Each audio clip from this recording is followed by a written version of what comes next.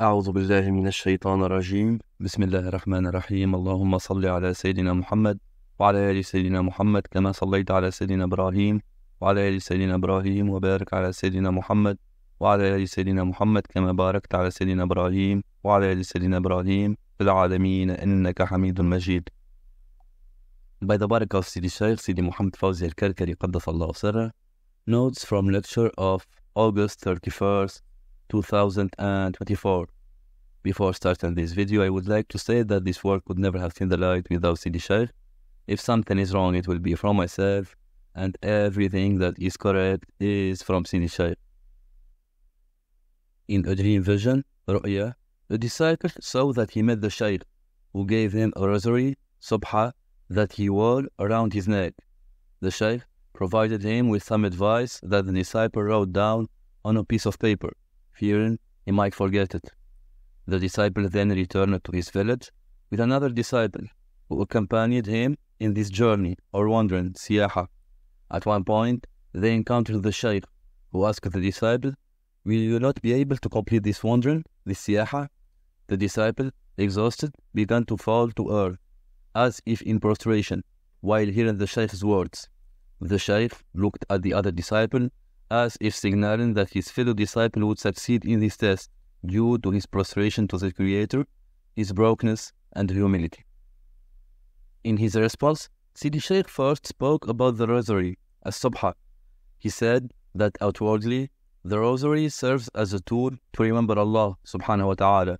However, in reality, the rosary is the umbilical cord between the disciple and the Shaykh, much like the umbilical cord between a baby and its mother while the baby is still in the womb. Whoever leaves his rosary, he cut the cord and will no longer have a subtle flow, sarayan, spiritual flow, madad, or spiritual aspiration, word. This sarayan and madad reach the disciple through the litany, al-wird. To perfect this litany, the disciple needs a tool, which is the rosary, as-subha, to count from 1 to 100, without increase or decrease. Sidi Shaykh warned that adding to or subtracting from the litany on purpose results in invalidating the wird, as the disciple produced the number from his own self.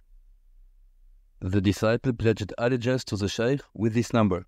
The Shaykh, in turn, pledged allegiance to his own Shaykh with this number, continuing this chain of allegiance through successive Shaykhs and reaching the Prophet wasallam with the exact same number. Adding to or removing is as if the disciple is disparaging the litany or implying that the shaykh does not know what he is doing or that he provided the number randomly. Sidi Shaykh added that this matter does not require an intellectual approach or additional methods, as it is permitted by Allah and His Messenger وسلم, with this specific number and using the same rosary with 100 beads. Some people use a digital calculator or similar devices to count, but this is typically for extreme situations. The original tool is the rosary. Additionally, the recommended time for reciting the litany is after the Maghrib and Subh prayers. The Shaykh made an exception for those with strict circumstances, not for everyone. Otherwise, there is no need for specific reasoning when choosing the time for their wird. Sidi Shaykh added that the wird is to be done before sleeping, and the best time is between the Maghrib and Isha prayers, and one should not sleep without performing this function, wadifa. Then, the morning litany is to be performed after the Subh prayer. Sidi Shaykh added that wearing the rosary around the neck is to realize that it is a trust, amana, to be upheld when meeting the Lord. Preserving and respecting it will act as a positive testimony for the disciple, whereas ruining it will stand as a testimony against him. It's a trust around his neck.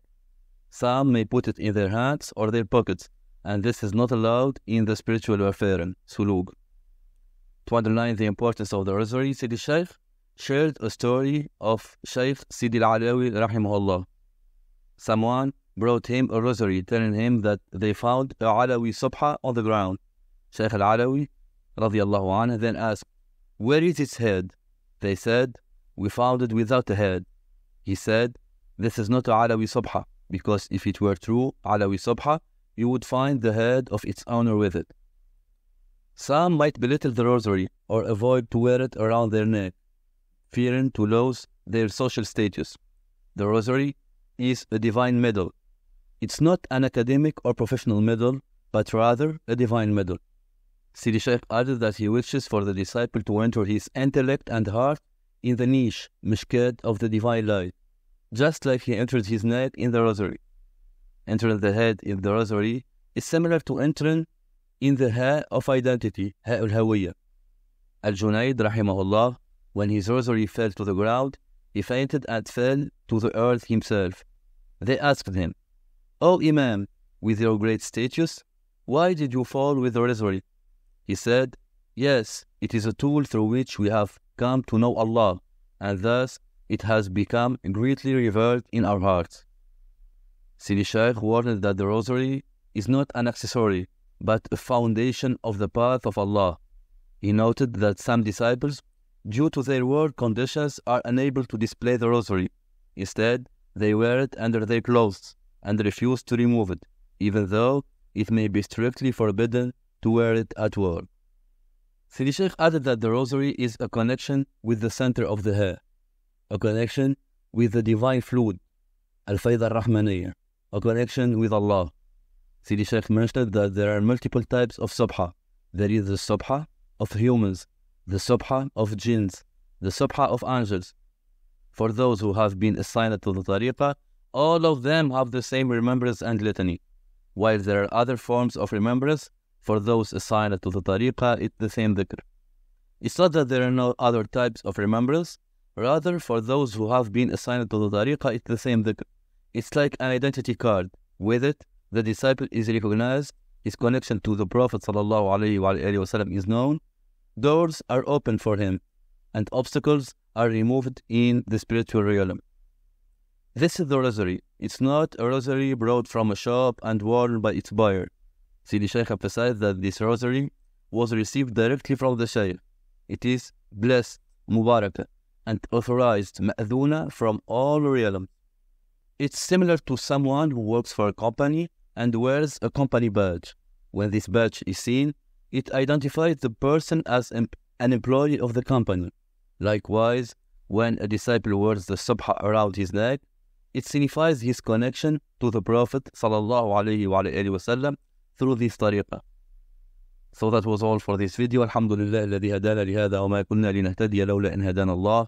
لقد جاءت رسل ربنا بالحق اللهم لك الحمد اللهم لك الحمد اللهم لك الحمد اللهم صل على سيدنا محمد وعلى آل سيدنا محمد كما صليت على سيدنا إبراهيم وعلى آل سيدنا إبراهيم وبارك على سيدنا محمد وعلى آل سيدنا محمد كما باركت على سيدنا إبراهيم وعلى آل سيدنا إبراهيم في العالمين إنك حميد مجيد سبحان ربك رب العزة عما يصفون وسلام على المرسلين والحمد لله رب العالمين.